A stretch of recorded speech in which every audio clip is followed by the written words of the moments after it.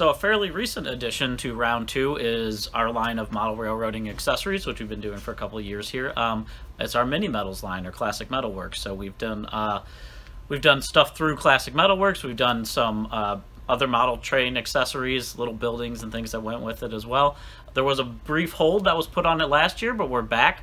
We're making new mini metals. We got a new release that's coming out with a lot of really neat stuff in that. So we'll show you guys the artwork real quick for what's coming in mini metals, including some variations of some of our new tooling that came out last year.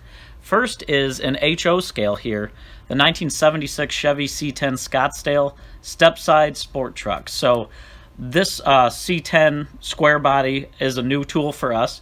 The only release, or the releases we did before, were a 73 uh, with a fleet side. So this is another tooling variation with different front grills and with a step side bed here. So something that's never been put out in mini metals before will be coming uh, throughout the year. You can see the three colors here, Hawaiian blue, Tangier orange, and midnight black. Should be a great looking uh, release for that one.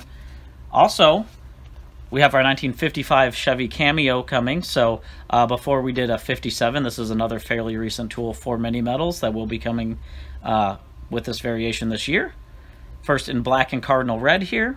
We've also got it in Bombay Ivory with cardinal red accents and in cardinal red with Bombay Ivory accents there in HO scale.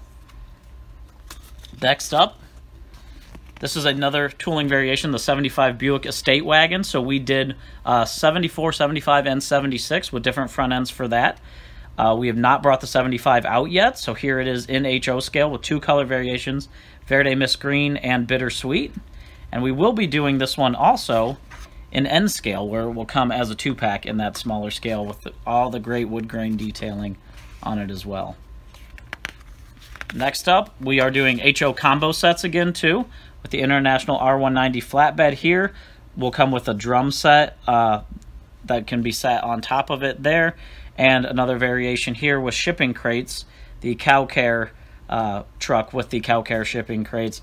Another really cool variation for that one for your model railroad layouts.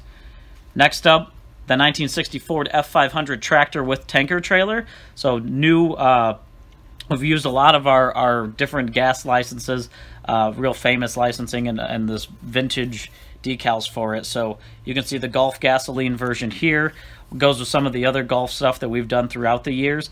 And then here we actually have a Texaco one as well in red uh, for that for that international or for that Ford uh, F500.